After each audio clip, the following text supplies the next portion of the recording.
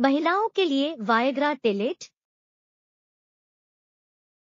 महिलाओं के लिए वायग्रा की एक अलग दवा होती है, जो पुरुषों की दवा के हिसाब से अलग होती है।